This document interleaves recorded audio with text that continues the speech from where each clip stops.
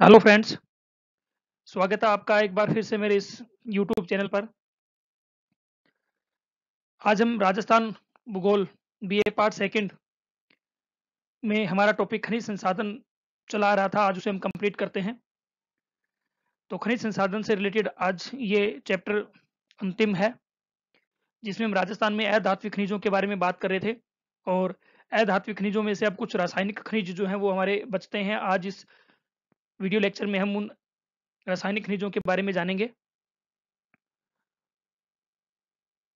उससे पूर्व हम सबके लिए एक संदेश, वृक्ष लगाइए, अपना आने वाला कल बचाइए।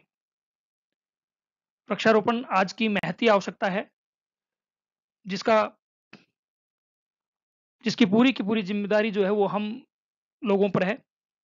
हम अपनी ज़िम्मेदारी को पहचाने और वृक्ष लगाकर इस धरती को और इस धरती धरती पर आने वाले जीवन को सरल बनाने में प्रयास करें।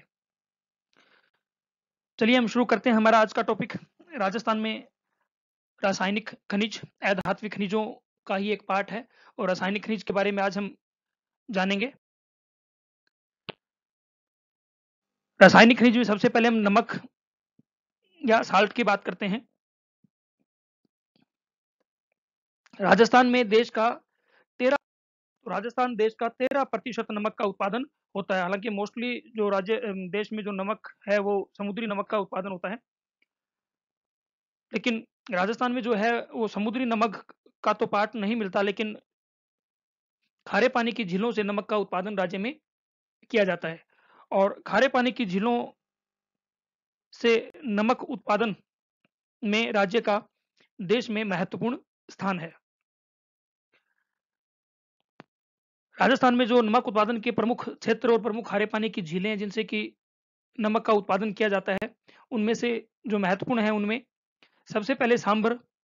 ये राज्य की नमक उत्पादन की सबसे महत्वपूर्ण खारे पानी की झील है और राज्य में खारे पानी की के सबसे बड़ी झील भी है। देश में जो झील नमक का उत्पादन होता है, उसका सबसे बड़ा स्रोत भी सांभर झील ही है। सांभर झील में 20 मीटर मोटी नमक की परतें पाई जाती हैं। सांबर झील का जो कैचमेंट एरिया उस कैचमेंट एरिया से कई छोटे बड़े नदी नाले जो हैं, वो सांबर झील में आकर गिरते हैं और भूमि में, यहाँ की चट्टानों में मौजूद जो लवण है, वो लवण इस झील की तह पर लाकर जमा करते हैं। साथ ही सांबर झील के बारे में भूग्रवेताओं का ऐसा मानना भी है कि ये टेथिस सागर के ही, यानी राज्य की जो झीलें हैं, सांबर, डीडवाना, पंचभद्रा, ये जो झीलें हैं, ये उस टेथिस सागर के ही अवशेष हैं, जिस कारण से इसमें नमक का इतना बड़ा स्रोत मौजूद है। और दूसरा, सांबर झील या डीडवाना झील या पंचभद्रा झील जो है, उनकी भूगर्भिक संरचना को यदि देखें तो उनकी जो चट्टानी संरचना है, वो भी लवणीय है। यानी उनकी चट्टानों में नमक पाया जाता है, जो कि एक महत्वपूर्ण नमक का स्रोत है। सांबर झील से sodium chloride, sodium sulphate, sodium carbonate, sodium bicarbonate, इन क्लोराइड सोडियम सल्फेट और सोडियम बाइकार सोडियम कार्बोनेट और सोडियम बाइकार्बोनेट जो है वो सांबर झील से उत्पादित होने वाले प्रमुख नमक के रूप हैं। और सांबर झील में नमक का उत्पादन जो है वो हिंदुस्तान साल्ट लिमिटेड द्वारा किया जाता है। और यहाँ जो सांबर झील है, यहाँ से उत्पादित नमक तीन प्रकार का है। कयार नमक, रेस्टा नमक और पान साल्ट। तो तीन प्रकार से नमक का उत्पादन यहाँ से किया जाता है। दूसरी जो प्रमुख झील है डीडवाना, नागौर ज़िले में मौजूद है और इस डीडवाना झील से सोडियम सल्फेट का उत्पादन किया जाता है। यहाँ पर राजस्थान सरकार का सोडियम संयंत्र स्थापित है, जो कि यहाँ नमक उत्पादन का काम करता है। तीसरी प्रमुख झील है, वो है पंचभद्रा। ये बाड़मेर ज़िले में मौजूद है यहाँ उत्तम किस्म का सोडियम क्लोराइड नमक उत्पादित होता है। यहाँ पर भी राजस्थान सरकार का संयंत्र स्थापित है, जो कि यहाँ से नमक उत्पादन का कार्य करता है। इसके अलावा लूणकनसर झील भी है, जहाँ पहले नमक का उत्पादन हुआ करता था, लेकिन अब वर्तमान में उत्पादन नगण्य है और इस, इन प्रमुख झीलों के अतिरिक्त भी कई छोटी झीलें और भी हैं, जहाँ से कि राज्य में नमक का उत्पादन थोड़ी बहुत मात्रा में होता है, जिनमें जैसलमेर में है, बाड़मेर ज़िले में भी है। ये राज्य में नमक उत्पादन के प्रमुख झीलें और जिनसे कि राज्य नमक उत्पादित करता है। और झील नमक उत्पादन का, जैसा मैंने आपको बताया, झील नमक उत्पादन का राजस्थान जो है वो देश का तेरह प्रतिशत नमक का उत्पादन चलिए, नमक के बाद अब हम बात करते हैं बेराइट्स के बारे में। नमक हमने देखा अभी, नमक के बारे में जाना कौन कौन सी झीलें राजस्थान में नमक का उत्पादन करती है, अब हम बात करते हैं बेराइट्स के बारे में। बेराइट्स को भारी पत्थर भी कहा जाता है। भारी पत्थर के नाम से भी इसको हम पुकारते हैं। और बेराइट्स उत्पादन में जो है वो प्रमुख उत्पादक जो ज़िले हैं उनमें अलवर का महत्वपूर्ण स्थान है। अलवर में राजगढ़, उदयपुर में जगत, रेल पात पातलिया, केवड़ा, बाबरमल, ये उदयपुर के प्रमुख बेराइट्स उत्पादक क्षेत्र हैं। और सिक्कर जिला भी बेराइट उत्पादन में महत्वपूर्ण स्थान, राज्य का एक महत्वपूर्ण जिला है। यहाँ नारोड़ा, खरबीनापुर, ये प्रमुख क्षेत्र हैं। और राजसमंद ज़िले में तिलवाड़ा, केसुली नाथ द्वारा ये प्रमुख बेराइट्स उत्पादक क्षेत्र हैं। तो अलवर, उदयपुर सिक्कर और राजसमंद ये राज्य के प्रमुख बेराइट्स उत्पादन, उत्पादक ज़िले हैं, जिनमें ये प्रमुख क्षेत्र, जो मैंने अभी आपको बताया, ये प्रमुख क्षेत्र हैं, जहाँ से कि बेराइट्स का उत्पादन होता है। इसके बाद हम बात करते हैं कैल्साइट के बारे में। ये भी एक रासायनिक खनिज है। कैल्साइट उत्पादन में राज्य का देश में पहला स्थान है। कैल्साइट के उत्पादन में राजस्थान देश में प्रथम स्थान पर है। और प्रमुख उत्पादक जो ज़िले हैं, उनमें कैल्साइट उत्पादन में सिक्कर, उदयपुर, सिरोही, पाली, जयपुर, झुंझुनू, अजमेर, राजसमंद और बांसवाड़ा ज़िले जो है, वो कैल्साइट उत्पादन में प्रमुख स्थान रखते हैं। कैल्साइट उत्पादन में राज्य में सिक्कर ज़िले का प्रथम स्थान है। यानी सिक्कर जो है वो कैल्साइट उत्पादन में राज्य में अग्रणी भूमिका निभाता है। इसके बाद हम बात करते हैं बेंटोनाइट के बारे में। ये भी एक रासायनिक खनिज है और बेंटोनाइट जो है वो राज्य में बाड़मेर, बीकानेर और सवाई माधोपुर जिलों से प्राप्त किया जाता है। बाड़मेर, बीकानेर और सवाई माधोपुर जिलों से प्राप्त किया जाता है। फिर है पायराइट पायराइट का एकमात्र उत्पादक जिला जो है वो है सिक्कर। यानी पायराइट जो है औद्योगिक दृष्टि से पायराइट का, व्यापारिक दृष्टि से पायराइट का उत्पादन मात्र सिक्कर ज़िले में ही होता है। सिक्कर में भी सलादीपुर जो है वो महत्वपूर्ण स्थान है पायराइट उत्पादन का। सलादीपुर से पायराइट का उत्पादन किया जाता है। अब हम बात करते हैं रासायनिक खनिजों के बाद कुछ बहुमूल्य पत्थरों के बारे में। राज्य में कई बहुमूल्य पत्थर भी प्राप्त किए जाते हैं, हालाँकि उनका उत्पादन जो है वो उत्पादन उतना ज़्यादा नहीं है, लेकिन फिर भी इनका जो राज्य की अर्थव्यवस्था में योगदान अच्छा खासा है तो इन बहुमूल्य पत्थरों में सबसे पहले आता है पन्ना। पन्ना उत्पादन में राजसमंद जिला जो है वो अग्रणी है और राजसमंद जिला में जो प्रमुख पन्ना उत्पादक जो क्षेत्र है उनमें काला गुमान, टिक्की, गोगुंदा, ये प्रमुख हैं। तो काला गुमान राजसमंद ज़िले में पन्ना उत्पादन के लिए जाना जाता है। काला गुमान, टिक्की और गोगुंदा और राजसमंद जिला पन्ना उत्पादन में राज्य में महत्वपूर्ण, सबसे महत्वपूर्ण है। अजमेर ज़िले में राजगढ़ क्षेत्र में पन्ना निकाला जाता है। फिर उसके बाद है तांबड़ा। तांबड़ा भी एक बहुमूल्य पत्थर है और तांबड़ा उत्पादन में तो राज्य का एक अधिकार भी है। राजस्थान का तांबड़ा उत्पादन में एक अधिकार है। तांबड़ा उत्पादन में राज्य का सबसे महत्वपूर्ण जिला जो है वो टोंक जिला। टोंक जिला में राजमहल, गांवरी, कुशलपुरा, जनकपुरा, ये टोंक ज़िले में तांबड़ा उत्पादक, उत्पादन के प्रमुख क्षेत्र है। राजमहल, गांवरी, कुशलपुरा और जनकपुरा। अजमेर में भी तांबड़ा निकाला जाता है। अजमेर में सरवाड़, खरवारी, भीलवाड़ा में इसके बाद अजमेर के बाद जो भीलवाड़ा है, भीलवाड़ा में जहाँ तांबड़ा मिलता है, उनमें कमलपुरा, दादिया बलिया खेड़ा कमलपुरा, दादिया बलिया खेड़ा ये जो है ये तांबड़ा उत्पादक क्षेत्र है भीलवाड़ा ज़िले के। सिक्कर ज़िले में जहाँ तांबड़ा मिलता है, उनमें महुआ, बागेश्वर, ये प्रमुख हैं। महुआ और बागेश्वर सिक्कर ज़िले में तांबड़ा उत्पादक क्षेत्र है। चित्तौड़गढ़ ज़िले में भी तांबड़ा पाया जाता है और चित्तौड़गढ़ ज़िले में केसरपुरा जो है, ये प्रमुख तांबड़ा उत्पादक चलिए, अब हम बात करते हैं राजस्थान में खनिज उद्योग की कुछ समस्याओं के बारे में। तो राजस्थान में खनिज उद्योग की जो समस्याएँ हैं, उनमें सबसे महत्वपूर्ण तो है असमान व असंतोषजनक वितरण। यदि हम राज्य में खनिजों के वितरण को देखें तो एक और अरावली पर्वत जो है, खास करके अरावली पर्वत में भी, अरावली पर्वत का दक्षिणी जो भाग है, वो खनिज संसाधनों की दृष्टि से एक संपन्न क्षेत्र है, जबकि पश्चिमी राजस्थान में खनिजों का अभाव है। पूर्वी राजस्थान में भी खनिजों का अभाव है। हालाँकि वहाँ थोड़े बहुत खनिज मिलते हैं, लेकिन फिर भी अभाव है। जितना खनिजों का जमावड़ा जितना दक्षिणी राजस्थान के अरावली श्रेणियों में हुआ है, उतना ना तो उत्तरी अरावली में हुआ है और ना ही अरावली के पश्चिमी और पूर्वी भागों में हुआ है। तो राजस्थान में खनिजों का असमान और असंतोषजनक वितरण जो है, ये भी राज्य में खनिज उद्योग की एक समस्या है, जिस कारण से खनिज उद्योग का जो विकास है, वो सभी जगह सही ढंग से प्रॉपर ढंग से नहीं हो पाया है। दूसरी जो समस्या राज्य में खनिजों से संबंधित आती है वो है ऊर्जा व आधारभूत खनिजों का अभाव। तो राज्य में एक तो ऊर्जा खनिजों का बड़ा ही अभाव है। हालाँकि राज्य में पेट्रोलियम और गैस के पर्याप्त भंडार होने के अनुमान है लेकिन अभी उनका व्यवसायिक उत्पादन उस लेवल पर, पर अभी राज्य में प्रारंभ नहीं हुआ है। और अन्य जो ऊर्जा संसाधन है खास करके कोयला जो है उसका राज्य में पूर्णतः अभाव है।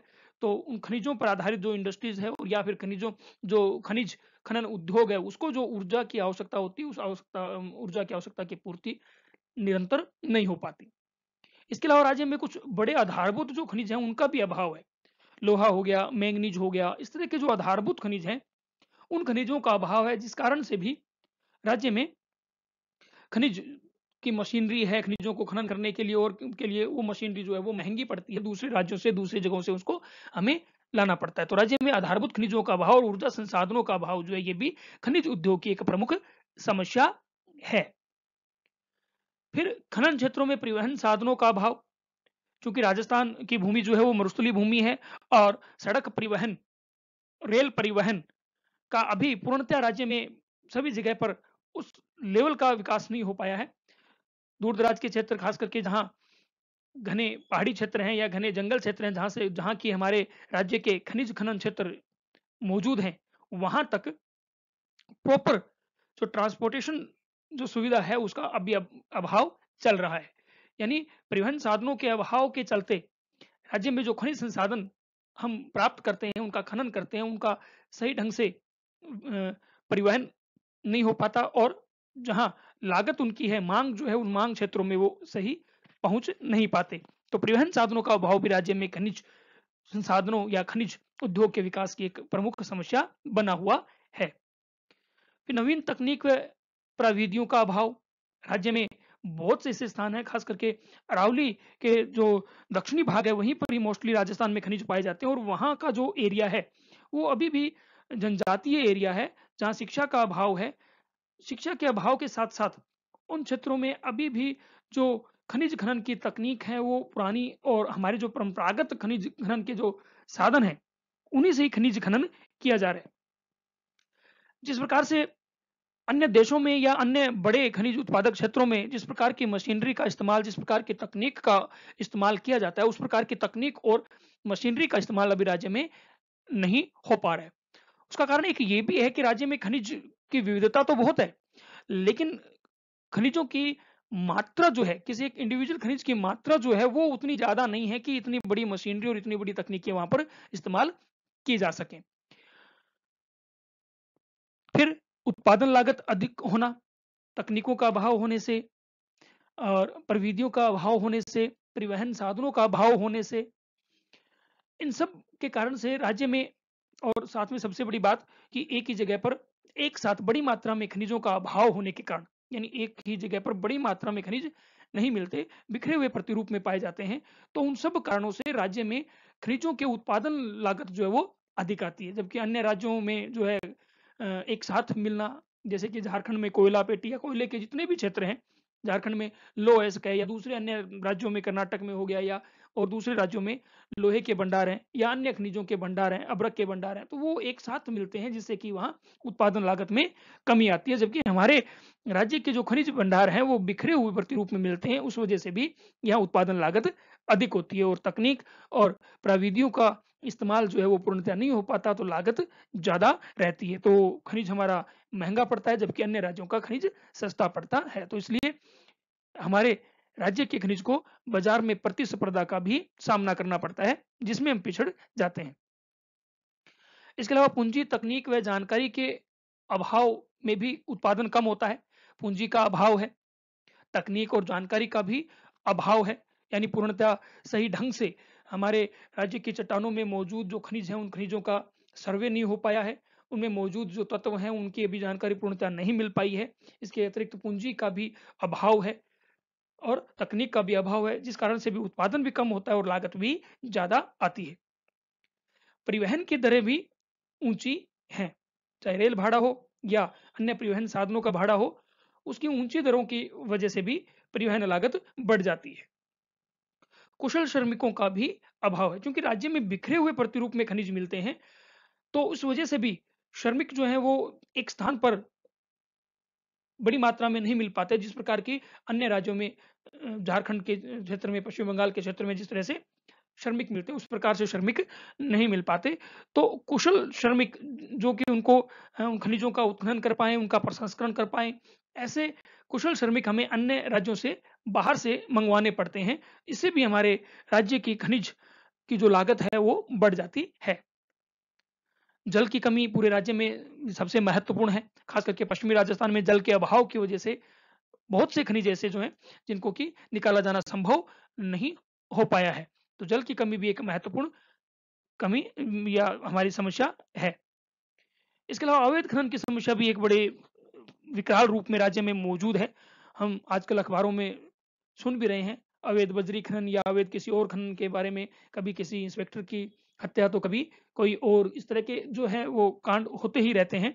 तो ये अवैध खनन की समस्या जो है, ये भी राज्य में एक बड़ी समस्या है, जिसका कि नुकसान राज्य की राजस्व व्यवस्था को होता है और उस खनिज का जो मूल्य है, वो राज्य के जो हमारा राजस्व है, उसको नहीं मिल पाता। तो ये राजस्थान में खनिजों की प्रमुख कुछ समस्याएँ हैं और इसके अतिरिक्त औद्योगिक पिछड़ेपन के कारण भी राज्य से जो निकाले जाने वाले खनिज है, उनका उपयोग राज्य में नहीं हम कर पाते, बल्कि उनकी, उन्हें हमें अन्य राज्यों में भेजना पड़ता है, यानी हमारे राज्य में इनकी मांग कम है, क्योंकि औद्योगिक विकास अभी तक राज्य में उतना ज़्यादा नहीं हो पाया है। औद्योगिक दृष्टि से देखें तो राजस्थान जो है अभी भी बीमारू राज्यों की श्रेणी में ही गिना जाता है। राजस्थान में उद्योगों का उतना विकास अभी तक नहीं हो पाया है तो उद्योगों का विकास नहीं होने की वजह से हमारे राज्य के खनिज अन्य राज्यों में भेज दिए जाते हैं, वो भी सस्ते दामों पर। तो ये भी एक कारण है कि राजस्थान में खनिज उद्योग जो है, वो पिछड़ा हुआ है। यदि पूंजी, तकनीक और इनके आधार पर भूमि की कमी नहीं है राजस्थान में, भूमि खूब है, पर्याप्त है। यदि यहाँ पर औद्योगिक इकाइयों की स्थापना की जाए तो राजस्थान में खनिज उद्योग को और भी बढ़ावा मिल सकता है। कई महत्वपूर्ण खनिजों के अल्प मात्रा होने से उत्पादन नगण्य होता है। बहुत ऐसे महत्वपूर्ण खनिज हैं जिनकी की मात्रा बहुत ही अल्प है, जैसे कि बांसवाड़ा में मिलने वाला सोना ही देख लीजिए। उसका खनन जो है वो महँगा पड़ता है क्योंकि वहाँ की चट्टानों में उतनी अधिक सोने की मात्रा नहीं मिलती लेकिन फिर भी सोना जो है वहाँ मिलता है, लेकिन मात्रा कम है। इस वजह से उसका खनन जो है वो ज़्यादा इतना इंपॉर्टेंस नहीं रखता। तो कई महत्वपूर्ण ऐसे खनिज हैं जिनकी मात्रा जो है बहुत ही अल्प है। तो अल्प मात्रा होने की वजह से उनका उत्पादन नहीं किया जाता या नगण्य उत्पादन होता है। इसके अतिरिक्त एक और महत्वपूर्ण पहलू जो राजस्थान में खनिज उद्योग की समस्या के रूप में हमारे सामने है, वो है राजनीतिक हस्तक्षेप। तो जो राजनीतिक जो दल हैं, वो भी इस प्रकार के, यानी खनिज खनन के क्षेत्र में अपना हस्तक्षेप रखते हैं। राज खनिज जो क्षेत्र हैं, खनिज खना खदान जो हैं, उनके बंटवारे में और साथ ही साथ बहुत सी मोस्टली जो खनिज खदानें तो हैं, वो राजनीतिक व्यक्तियों की ही हैं। तो इस राजनीतिक हस्तक्षेप की वजह से भी हमारे राज्य में खनिज उद्योग जो है उतना विकसित, उतना विकास नहीं कर पाए बहुत बड़े पहुँच वाले जो लोग हैं, उन्हीं को ही ये खनिज क्षेत्र जो आवंटित तो किए गए हैं और उनमें भी राजनीतिक हस्तक्षेप बड़ी मात्रा में मिलता है, जिस वजह से राज्य में जो खनिज उद्योग जो है वो समस्याग्रस्त क्षेत्रों में शामिल किया जाता है। खनिज उत्खनन क्षेत्रों पर कुछ प्रभावशाली व्यक्तियों का आधिपत्य है। अभी मैंने जैसे आपको बताया कि कुछ राजनीतिक जो लोग हैं, राजनीतिक जो अपनी पहुँच रखने वाले लोग जो हैं, उनका या जो प्रभावशाली व्यक्ति हैं, कुछ एक प्रभावशाली व्यक्ति हैं, उन्हीं का ही आधिपत्य है खनिज उत्खनन क्षेत्रों पर। तो इस वजह से भी जो है खनिजों का विकास या खनिज उद्योग का विकास प्रॉपर ढंग से राज्य में नहीं हो पाया है। उम्मीद है कि इन सारी समस्याओं का समाधान धीरे धीरे जैसे जैसे निकलेगा, राजस्थान खनिजों में अपना और भी महत्वपूर्ण स्थान बनाएगा, न केवल देश में बल्कि विदेशों में भी। और उम्मीद है कि आपको ये वीडियो लेक्चर अच्छा लगा होगा। आप चैनल को सब्सक्राइब कीजिए, लाइक कीजिए, वृक्ष लगाइए, धरती को हरा भरा कीजिए, खुशहाल रहिए, धरती को भी खुशहाल रखिए, स्वस्थ रहिए। Thank you so much.